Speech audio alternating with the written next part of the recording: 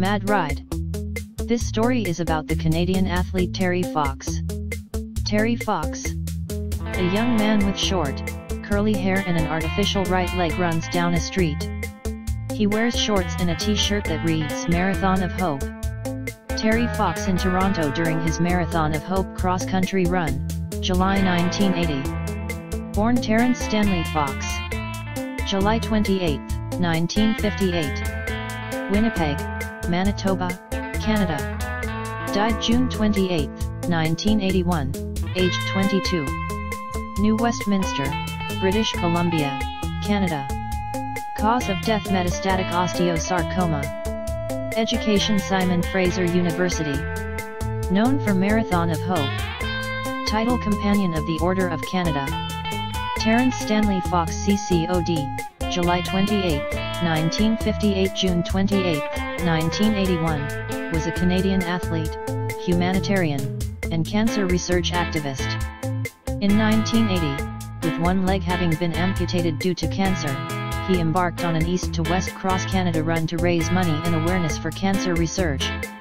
Although the spread of his cancer eventually forced him to end his quest after 143 days and 5,373 kilometers, 3,339 miles, and ultimately cost him his life, his efforts resulted in a lasting, worldwide legacy. The annual Terry Fox Run, first held in 1981, has grown to involve millions of participants in over 60 countries and is now the world's largest one-day fundraiser for cancer research. Over 750 million Cordovas has been raised in his name, as of January 2018 1. Fox was a distance runner and basketball player for his Port Coquitlam, British Columbia, High School and Simon Fraser University. His right leg was amputated in 1977 after he was diagnosed with osteosarcoma, though he continued to run using an artificial leg. He also played wheelchair basketball in Vancouver, winning three national championships. In 1980, he began the Marathon of Hope, a cross-country run to raise money for cancer research. He hoped to raise $1 from each of Canada's 24 million people. He began with little fanfare from St. John's, Newfoundland and Labrador in April and ran the equivalent of a full marathon every day. Fox had become a national star by the time he reached Ontario. He made numerous public appearances with businessmen, athletes, and politicians in his efforts to raise money. He was forced to end his run outside Thunder Bay when the cancer spread to his lungs. His hopes of overcoming the disease and completing his marathon ended when he died nine months later. In addition to being the youngest person ever named a Companion of the Order of Canada, Fox won the 1980 Lou Marsh Award as the nation's top sportsman and was named Canada's Newsmaker of the Year in both 1980 and 1981. Considered a national hero, he has had many buildings, statues, roads, and parks named in his honor across the country.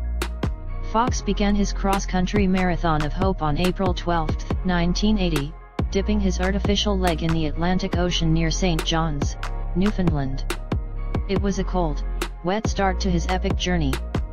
On average, Fox would run about 42 kilometers, roughly a marathon, a day through the Atlantic provinces, Quebec and Ontario.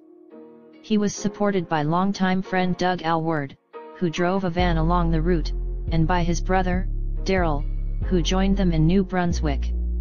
The tension between Terry and Doug could get high at times, but Daryl was usually able to lighten the mood.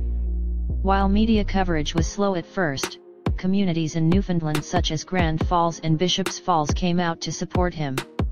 However, Fox was disappointed by their early reception in Nova Scotia, as few people in the province seemed to know about his Marathon of Hope. According to Fox's diary, Prince Edward Island was more hospitable. He was disappointed again, though, to learn nothing had been arranged for them in Saint John, New Brunswick he and Alward decided to run through the city, anyway. It was even tougher in Quebec the Marathon of Hope hadn't been publicized in the province, and he raised almost no money there. That changed, however, due to the efforts of businessman Isadore Sharp, Bill Vigars of the Canadian Cancer Society's Ontario Division and journalist Leslie Scrivener of the Toronto Star, who wrote a weekly column on Fox's progress, and later penned his biography.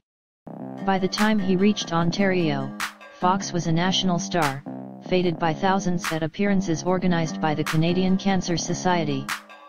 Fox met Prime Minister Pierre Trudeau, British actress Maggie Smith, and NHL greats Bobby Orr and Darryl Sittler, who presented Fox with his 1980 NHL All-Star sweater. Despite the crowds, it was also safer running in Ontario. On several occasions Terry had come close to being hit by cars or trucks while running across the Atlantic provinces and Quebec. In Ontario, the provincial police accompanied him. Kindly share and subscribe to this channel. Mad Right Ent. Stay connected.